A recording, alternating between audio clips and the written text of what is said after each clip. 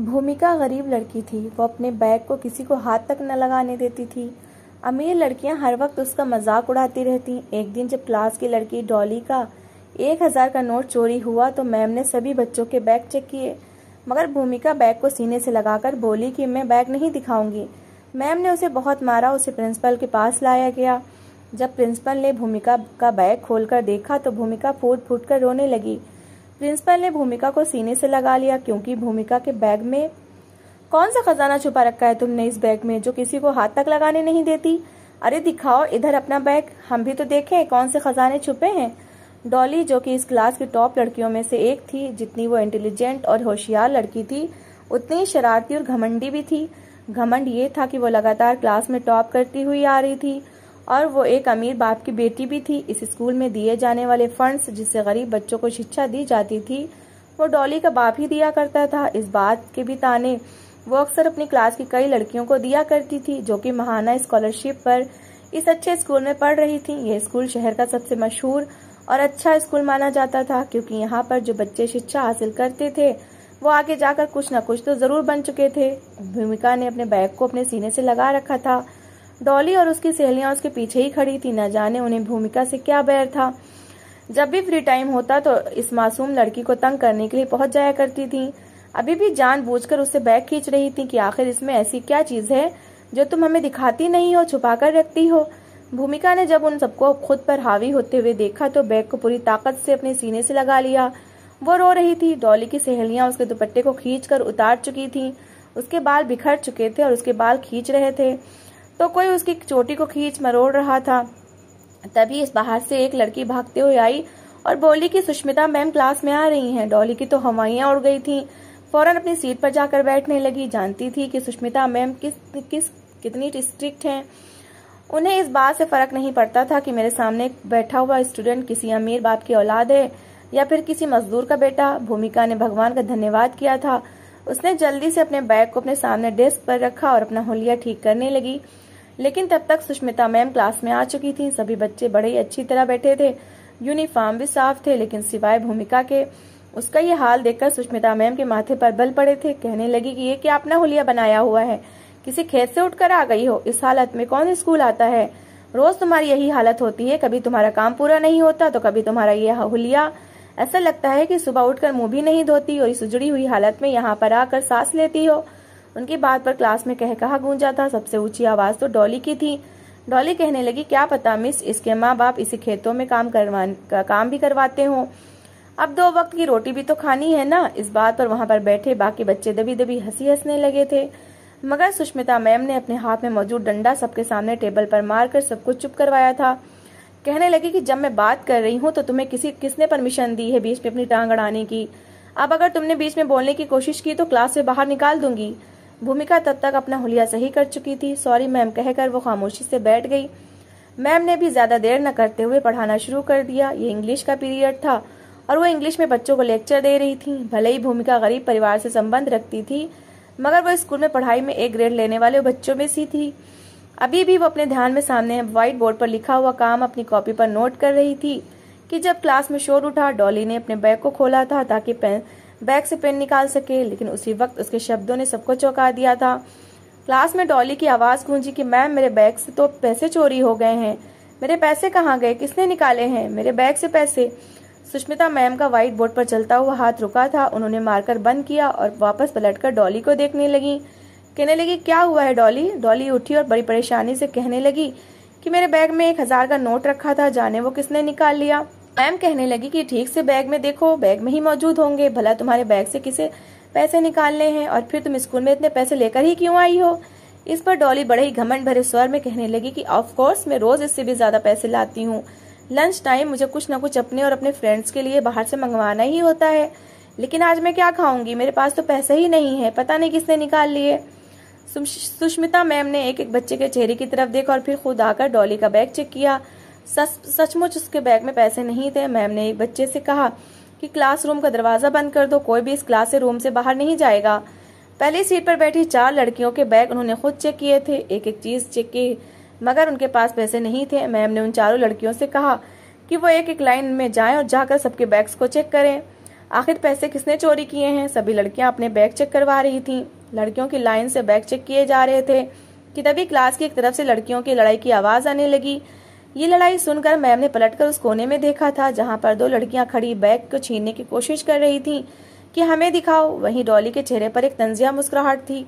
दरअसल डॉली के पैसे तो गुम ही हुए ही ना थे। उसने तो जानबूझकर ये सारा प्रो, प्रोपेगंडा खेला था ताकि इस बहाने भूमिका का बैग चेक होगा।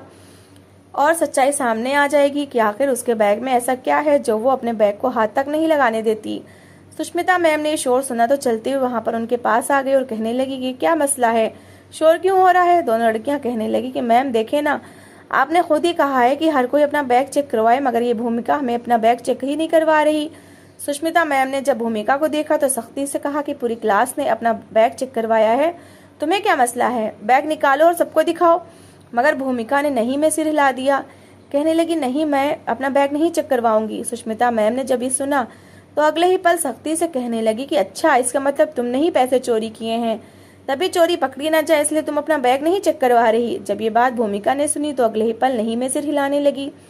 आँखों में आए आंसुओं को साफ़ करके कहने लगी कि, नहीं मैम, मैंने कोई चोरी नहीं की। मैं बता रही हूँ ना, भला मुझे क्या ज़रूरत है डॉली के पैसे चोरी करने की? मैं तो इसके डेस्क के पास जाती भी नहीं, ना इसके बैग को हाथ लगाती हूँ। प्लीज़ मेरे बैग को छोड़ दें। डॉली भी वहीं पर आ चुकी थी। कहने लगी कि, मुझे इस पर पहले ही शक था, ज़रूर इसी ने ही गंदा काम किया है। एक तो ये गरीब, नीच लड़की हमारे टुकड़ों पर पढ़ने वाली, इसकी तो इतनी औकात ही नहीं है जो इस स्कूल में पढ़ सके। और ऊपर से यहाँ पर हम अमीर लोगों के बैग से चोरियाँ भी करती फिरती है। डॉली के शब्द सुनकर भूमिका पहले से भी ज़्यादा रोने लगी थी, मगर अपने बैग को अपने सीने से लगाकर कहने लगी कि मैंने चोरी नहीं की। क्या तुम्हें समझ नहीं आ रहा? मैं अपना बैग तुम लोगों को नहीं चेक करवाऊँगी। सुष्मिता मैम ने जब ये देखा तो बजाय डॉली को मना करने के वो भूमिका के मुँह पर एक झन्नाटेदार थप्पड़ लगा चुकी थी। कहने लगी कि एक तो चोरी करती हो, ऊपर से जबान भी चलाती हो। दिखाओ अपना बैग, मुझे वरना मैं तुम्हारा बहुत बुरा हाल करूँगी। सुष्मिता मैम बड़ी जाहिलाना अंदाज में बोल रही थी, किसी टीचर को इस तरह बच्चों के साथ बोलना शोभा नहीं देता। जैसा कि उस वक्त सुष्मिता मैम अपने स्टूडेंट से बात कर रही थी, मगर भूमिका कहने लगी कि कुछ भी हो जाए, मैं अपना बैग किसी भी हाल में आपको नहीं दिखा सकती। शोर की आवाज़ क्लासरूम से बाहर तक जा रही थी। वहाँ पर क्लास में पाँच छह बच्चे ऐसे भी मौजूद थे, जो कि गरीब घर से संबंध रखते थे और स्कॉलरशिप पर ही यहाँ पर पढ़ रहे थे। जब उन्होंने मामले को हाथ से निकलते देखा और भूमिका को मैम से मार खाते देखा तो उनसे रहा ना गया। वो बड़े ही ध्यान से क्लास से बाहर निकल गई और जाकर स्कूल के प्रिंसिपल को खबर कर दिया। जैसे स्कूल की प्रिंसिपल तक ये खबर पहुँची तो कुछ देर बाद वहाँ पर वाइस प्रिंसिपल रागनी मैडम आ चुकी थी। रागनी मैडम ने दरवाज़ा खोला तो सामने का दृश्य देखकर उनके माथे पर बल पड़ चुके थे। उनकी तेज आवाज़ ने सुष्मिता मैम के तो तोते हवा में उड़ा दिए थे। वो बड़े कठोर स्वर में कहने लगी कि यहाँ पर क्या हो रहा है? आज से पहले किसी ने भी रागनी मैडम को इतना गुस्से में नहीं देखा था। लेकिन सुष्मिता मैम इससे पहले कि अपनी सफ़ाई में कुछ बोलती और भूमिका के बारे में वहाँ पर सब कुछ बताती, हाथ उठाकर मैडम ने सबको चुप करवा दिया। कहने लगी कि इस बच्ची को लेकर मेरे ऑफ़िस में आए। सबको साफ़ सुन गया था। सुष्मिता मैम ने भूमिका और डॉली को अपने साथ लिया और प्रिंसिपल के ऑफ़िस में चली गई। रागनी मैडम सामने ही बैठी थी। सबसे पहले तो डॉली को बुलाया गया और उससे पूछा गया तो डॉली ने वही रटी रटाई कहानी बताई कि मेरे बैग से पैसे भूमिका ने चुरा लिए हैं। रागनी मैडम बड़ी धीमी, प्यार भरे लहजे में बात करने वाली औरत थी। कहने लगी कि तुम इतने यकीन से कैसे कह सकती हो कि तुम्हारे पैसे भूमिका ने चुराए हैं? इस बात पर डॉली कहने लगी, क्योंकि इसने अपना बैग हमें नहीं चेक करवाया। यहाँ तक कि सुष्मिता मैम ने इसे थप्पड़ भी मारा है, फिर भी इसने अपना बैग दिखाने से मना कर दिया। इसका यही मतलब है कि आज तक स्कूल में जितनी भी चोरियाँ हुई हैं, वो सब भूमिका नहीं की है। ये सब कुछ सुनकर रागनी मैडम ने डॉली को वहाँ से वापस भेज दिया था। डॉली तो वहाँ से चली गई, लेकिन सुष्मिता मैम वहीं पर मौजूद थी। फिर उन्होंने अपने ऑफ़िस में भूमिका को बुलाया। भूमिका डरी, सहमी, रोती हुई ऑफ़िस में आई थी। उसने अभी तक अपने बैग को सीने से लगा रखा था, उसके बाल बिखरे हुए थे। चेहरे पर सुष्मिता मैम की उंगलियों के पूरे पूरे निशान मौजूद थे। एक तो उसकी सफ़ेद रंग का ऊपर से उंगलियों के निशान साफ़ दिखाई दे रहे थे। यूँ लड़की के चेहरे पर निशान देखकर रागनी मैडम ने बड़े ही गुस्से से सुष्मिता मैम को देखा था। फिर सुष्मिता मैम को भी अपने सामने मौजूद कुर्सी पर बैठने के लिए कहा और भूमिका से भी कहा कि यहाँ पर मेरे पास बैठो। भूमिका डरते डरते सामने बैठ गई। फिर भूमिका से पूछने लगी कि बताओ क्या मामला है? इस पर भूमिका फूट फूट कर रोने लगी, फिर रोते हुए कहने लगी कि डॉली मेरे साथ बहुत बुरा व्यवहार करती है। मुझे गरीब होने के ताने देती है और अपनी सहेलियों के साथ मिलकर हम सभी गरीब लड़कियों को बहुत का बहुत मज़ाक उड़ाती है। अभी भी वो सुबह से मेरा बैग छीनने की कोशिश कर रही थी। जब मैंने उसे दिखाने से मना किया तो उसने मुझ पर चोरी का इल्ज़ाम लगा दिया। इतना सुनने के बाद रागनी मैडम ने एक नज़र भूमिका को देखा और फिर कहने लगी कि इन सब बातों के लिए मैं डॉली से बात करूँगी। लेकिन तुम अपना बैग मिस सुष्मिता को चेक करवा देती। जब पूरी क्लास ने अपने बैग चेक करवा दिए हैं तो तुम अपना बैग इन सबको चेक क्यों नहीं करवा रही थी? अगर तुम अपना बैग चेक करवा देती तो तुम शक के निशाने पर ना आती। जब तुम अपना बैग ही नहीं चेक करवा रही थी तो सबको यही लगेगा कि तुमने ही चोरी की है बेटा। जब इस तरह की बातें भूमिका ने सुनी तो वो सर झुका चुकी थी। बड़े ही प्यार से रागनी मैडम उठकर उसके पास आई और कहने लगी कि मुझे अपना बैग दिखाओ। भूमिका ने पहले तो नहीं में सिर हिलाया, लेकिन फिर कहने लगी कि आप किसी को बताएँगी तो नहीं? रागनी मैडम ने बड़े ही प्यार से भूमिका के सर पर हाथ रखा। कहने लगी कि नहीं, तुम मुझे दिखाओ, मैं इस बैग में इस बैग में क्या है? रागनी मैडम के कहने पर भूमिका ने डरते डरते एक नज़र मिस सुष्मिता पर डाली और फिर वो बैग रागनी मैडम के हवाले कर दिया। जैसे ही वो बैग उनके पास आया तो वो खोलकर देखने लगी। जैसे जैसे वो बैग को टटोल रही थी, उनकी आँखें हैरत से फैलती चली गईं। अगले ही पल उनकी आँखों से मोटे मोटे आँसू बहने शुरू हो चुके थे। रागनी मैडम रोने लगी थी, बैग को अपने पास रखा और फिर रोते हुए उन्होंने भूमिका को अपने गले से लगा लिया। मिस सुष्मिता अभी भी हैरान सी खड़ी।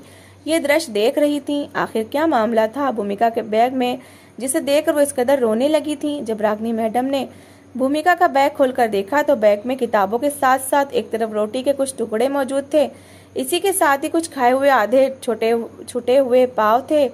साथ ही आधा खाया बर्गर था, भाजी का पैकेट था, एक में पैकेट में दाल थी, एक शॉपर में चावल थे, ये छोटी छोटी चीज़ें बैग में पड़ी थी। ये सब देखकर कहीं ना कहीं कुछ न कुछ रागनी मैडम समझ चुकी थी कि आखिर मामला क्या है, ये सब कुछ देखकर उनसे रहा न गया।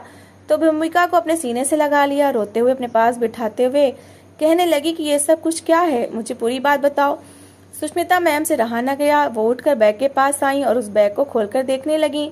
बैग में मौजूद ये चीज़ें देखकर वो भी हड़बड़ा सी गई थी। इस बैग में पैसे तो मौजूद न थे, मगर ये खाना मौजूद था। सुष्मिता मैम को कुछ समझ नहीं आ रहा था कि आखिर असल मामला क्या है। वो हैरत से भूमिका का चेहरा देख रही थी। तभी रागनी मैडम भूमिका से कहने लगी कि, बेटा, ये सब कुछ क्या है? क्या तुम ये सब कुछ सबसे छुपा रही थी? भूमिका रोने लगी, रोते हुए कहने लगी कि, मैडम, मैं नहीं चाहती थी कि यहाँ पर मेरा मज़ाक बने। मेरे क्लास के बच्चे वैसे ही मुझे बहुत तंग करते हैं। मेरे बारे में तरह तरह की बातें करते हैं। अगर मेरा बैग उनके सामने खुल जाता और वो मेरे बैग में इस तरह की चीज़ें देख लेते तो मेरा तो यहाँ पर जीना मुश्किल हो जाता। भूमिका कहने लगी कि मेरे पापा की मृत्यु हो चुकी है, वो एक प्राइवेट नौकर, नौकरी करते थे। उनकी एक एक्सीडेंट में डेथ हो गई, जो थोड़ी बहुत जमा पूंजी थी। उससे घर का खर्चा चलता रहा, मगर कब तक उससे गुजारा हो सकता था? मेरी माँ दिल की रोगी हैं, जब तक दवाइयाँ ना खाएँ तो उनकी तबीयत ही नहीं ठीक होती। कोई भारी काम कर ही नहीं सकती, लोगों के घरों में जाकर काम करती हैं। तो उनकी तबीयत खराब होने लगती है, थोड़ा बहुत जो काम हो सके कर लेती हैं, वरना वापस घर ही आ जाती हैं, न झुक सकती हैं, न कोई भारी चीज़ उठा सकती हैं। उनकी तो अब दवाइयाँ भी खत्म हो चुकी हैं। मुझसे छोटे मेरे चार बहन भाई और हैं, वो तो छोटे हैं, कोई काम कर नहीं सकते, मैं सबको भूखा भी नहीं देख सकती। एक दिन हमारे घर में चूल्हा ना जला तो जो बासी खाना थोड़ी बहुत रोटी पड़ी थी, वो माँ ने छोटे बहन भाइयों को खिला दी, मैं यहाँ पर स्कॉलरशिप पर थी तभी मैं यहाँ पर पढ़ने आती हूँ। मेरा ये सपना है कि बड़ी होकर अपने पैरों पर खड़ी होंगी और इतना कमाऊँगी कि मेरी माँ और मेरे छोटे बहन भाई पेट भरकर खाना खा लें। उन्हें किसी, कभी किसी के सामने हाथ ना फैलाना पड़े। दो दिन से मैं भूखी थी, पानी पीकर ही गुजारा कर रही थी। अब पड़ोस वाले भी हमारी मदद करने को तैयार नहीं है। कहते हैं कि हमारे भी हालात तुम लोगों के सामने हैं। हम आखिर कहाँ से तुम लोगों की मदद करेंगे? अगर तुम लोगों की मदद करेंगे तो हम अपने खर्चे कैसे उठाएँगे? यूँ हमने लोगों से कुछ कहना ही छोड़ दिया। दो दिन से मैं भूखी थी, एक दिन जब मैं स्कूल से आ रही थी तो रास्ते में मेरा ध्यान एक होटल की तरफ़ गया। वहाँ पर वो आदमी पाव भाजी और खाना बेच रहा था। उसे पाव भाजी बेचते देखकर मैं उसकी दुकान के पास चली गई। मैंने देखा था कि वो खराब हो जाने वाली भाजी और आधे पाव लोगों का बचा हुआ खाना एक तरफ़ को पड़े हुए शॉपर में फेंक रहा था। शायद उसने सोचा होगा कि इसी कुत्ते बिल्लियों को डाल दूँगा। लेकिन मैंने जब वो खाना देखा तो मेरे मुँह में पानी आ गया। कौन सा वो किसी कचरे में फेंक रहा था, बल्कि एक शॉपर में ही तो रख रहा था? मैं धीरे से चलती हुई उसके पास गई और जाकर कहा कि क्या यह खाना मैं ले लूँ? उसने मुझे हैरत से देखा, कहने लगा कि तुम इस खाने का क्या करोगी? ये खाना तो लोगों का झूठा है, इसे तो दुकान बंद होने के बाद कुत्ते बिल्लियों को डालना है। मैंने उसकी बात सुनी तो कहने लगी कि मुझे ये खाना दे दो, मैं इसके पैसे नहीं दूँगी। वो कहने लगा कि हाँ हाँ झूठा खाना है, भला मैं इसके पैसे लेकर तुमसे क्या करूँगा? मैं खुश हो गई और वो खाना लेकर एक तरफ़ बैठ गई। भूख से मेरी बुरी हालत हो रही थी। पहले तो मैंने वो खाना खुद खाया और बाकी बचा हुआ खाना मैंने अपने बैग में डाल लिया घर जाकर अपनी माँ छोटे बहन भाइयों को दूँगी। यही मेरा रोज का काम बन चुका है। मैं रोज़ाना वहाँ से गुजरती हूँ और बचा हुआ खाना लेकर घर आ जाती हूँ। वो भी एक साफ़ शॉपर में इस खाने को डालकर रख देता है, इसे गंदा नहीं करता। मैं जब भी वहाँ से गुजरती हूँ तो मुझे खाना दे देता है। मेरी माँ और छोटे बहन भाइयों को भी पता है कि मैं खाना एक होटल से लाती हूँ। भले ये झूठा खाना होता है, लोगों का बचा हुआ होता है, लेकिन फिर भी हमारे लिए खाना बहुत कीमती है। हम भगवान का धन्यवाद करके जी रहे हैं। मैं बस इसी कोशिश में लगी हूँ कि मेरी पढ़ाई जल्द से जल्द पूरी हो और मैं यहाँ पर पढ़ाई करने के बाद एक अच्छी नौकरी कर लूँ ताकि मेरे घर के हालात कुछ ठीक हो सकें। ये सब सुनकर तो सुष्मिता मैम की आँखों में भी आँसू आ चुके थे। उन्हें शर्मिंदगी होने लगी कि उन्होंने क्यों इस मासूम बच्ची पर हाथ उठाया? कहानी का रुख तो कुछ और भी हो सकता था। फिर क्यों वो इतनी सख्त बनी रही? और इस मासूम बच्ची को मारती रही? रागनी मैडम ने मुस्कुराकर भूमिका की हिम्मत बंधाई और कहा कि सौ में से सिर्फ़ पाँच परसेंट ऐसे बच्चे होते हैं जो पढ़ाई की खातिर इतनी मुश्किल उठाते हैं। भगवान तुम्हें एक न एक दिन ज़रूर कामयाब करेगा और मैं तुम्हारी हर मुमकिन मदद करूँगी। ऐसा कहने के बाद भूमिका वहाँ से जा चुकी थी। लेकिन सुष्मिता मैम और रागनी मैडम कितनी देर भूमिका और उसकी माँ के बारे में कुछ सोचती रही, उनके घर के खर्चे बड़े ही मुश्किल से चल रहे थे। उन्हें, उन्होंने कुछ सोचा और फिर भूमिका की माँ को अपने स्कूल में बुलाया। वो थोड़ी बहुत पढ़ी लिखी तो थी। रागनी मैडम ने उनके जिम्मे काम लगाया कि वह स्कूल शुरू होते ही सारी क्लास के पास जाकर रजिस्टर पर अटेंडेंस लगवाया करेंगी। जो भी टीचर छुट्टी पर होगी उसके बारे में आकर वो मैडम को बताएँगी। उन्हें सैलरी दी जाएगी छोटे मोटे काम उनके जिम्मे किए गए, जिससे वो अपनी सेहत का भी ख्याल रख सकती थी और ईमानदारी से भी कमा सकती थी। डॉली जैसे बच्चे को जो कभी भूमिका और उस बच, उस जैसे बच्चों का मज़ाक उड़ाया करते थे बाकायदा स्कूल में एक ऐसा फ़ंक्शन रखा गया जहाँ पर भूमिका जैसे बच्चों और उनके माँ बाप को हीरो बताया गया। उपहार दिए गए और ये बताया गया कि हमारी नज़र में बच्ची अमीर हो या गरीब हमारी नज़र में सब बराबर हैं। हम गलत से नहीं बल्कि शिक्षा से लगन के हिसाब से बच्चों को तोला करते हैं। धीरे धीरे बच्चों का व्यवहार भूमिका के साथ कुछ ठीक तो हो चुका था लेकिन फिर भी जिसकी जो परवरिश थी वो दिखाता भी था। धीरे धीरे वक्त गुजरने लगा और एक वक्त वो भी आया जब भूमिका डॉक्टर बन चुकी थी। उसने न सिर्फ़ अपनी एजुकेशन जारी रखी थी, बल्कि अपने छोटे बहन भाइयों को भी शिक्षा दिलवाई थी और आज वो गर्व से कहती थी, बाकायदा इस फ़ंक्शन में उसने, उस होटल वाले को भी बुलाया था जिसने भूखे रहने पर भूमिका की बहुत मदद की थी। मुफ़्त में उसे खाना दिया था, अगर वो ना होता तो शायद आज भूमिका भी यहाँ ना होती।